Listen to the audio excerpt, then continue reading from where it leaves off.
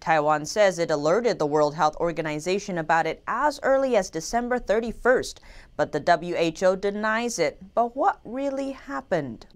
由新唐人电视制作的全英文节目《China in Focus》在十一号的内容中报道了台湾疫情指挥中心指挥官陈时中拿出去年十二月底致函世界卫生组织的信件，反驳 WHO 称台湾并未告知他们中共肺炎有人传人的风险。这支影片在 YouTube 点击量超过一百三十万，有国外网友留言称赞台湾遏制中共病毒非常成功，还有人表示台湾证明了不需要加入 WHO 反反而更有帮助，认为台湾比 WHO 更可信。也有网友形容台湾才是世界卫生组织，反观世卫现在只是替中共做事的腐败组织。